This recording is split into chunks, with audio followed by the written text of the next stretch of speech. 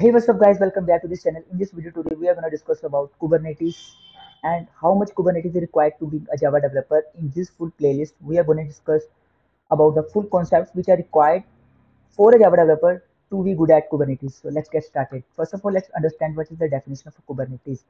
So I'm assuming if you are watching this video, you should having a basic knowledge of container tools like Docker. So if you are good at Docker, then get good to go and watch this video. If you wanna me to create a playlist on Docker, you can comment. Okay. So first of all, what is a Kubernetes is? A Kubernetes is basically a container orchestration tool. What does it means is, in this video, you can see that suppose we having an application app. Okay. So we having an application named as app. What we do is we created its containers using a tools like Docker. So what we do, we just, just created the containers for this our application. What Kubernetes do is is it is used to run multiple containers and managing multiple containers on a cluster. This overall thing will be your cluster. We will be discussing in more detail in next videos. In this video, I'm just just giving you a basic idea of what is a Kubernetes is. So this is our cluster as you can see, this box which I draw. This is our app. If you are Java developer, you usually know that we use the jar file to run our applications on server what we nowadays what we do is we created containers. Inside which our jar file will be running.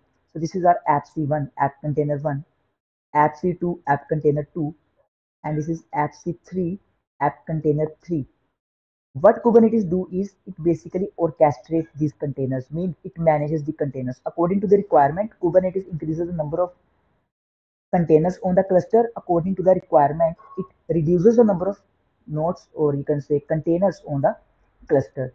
For example, uh, if you are a Netflix user, suppose two people are watching the movie, according to a requirement, if they are using the Kubernetes, the two containers will be running and live.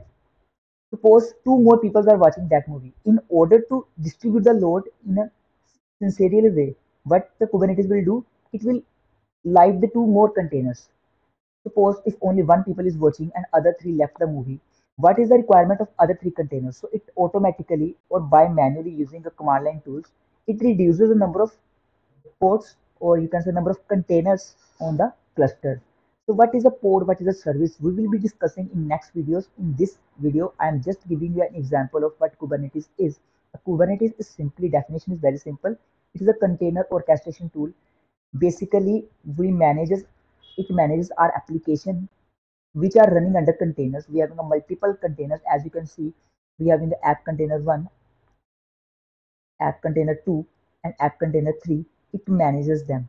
It also do the work of load balancing. Suppose if 40% memory of it is occupied and 100% memories of these two containers are occupied and user is requesting for the services.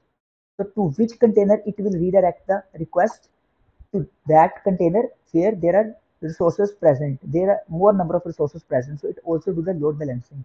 So what's the simple definition of Kubernetes is? It is a tool which is managing how much number of containers or applications are required, services are required. If there are lesser number of required, it will downgrade the number of containers. If there are more number of services are required, it will upgrade the number of containers. That's what a Kubernetes is. Let's understand how much Kubernetes you should know as a Java developer to be good in a market. First of all, you should know how to write the Kubernetes scripts like manifest file in, in a code like we like the instructions in order to tell what to do. Simply in a Kubernetes, how many containers we have to run, which container we have to run, how many replica sets we have to create. To understand all these things, we will be going in next videos, but you just having a basic understanding of YAML file. So make sure you having understanding of YAML, how to write it. So I hope you understand what is a Kubernetes is and we will be starting with the basic very basic components of kubernetes from the next video. Make sure if you are new at to our channel subscribe our channel. We are going to create more stuff like that. Bye bye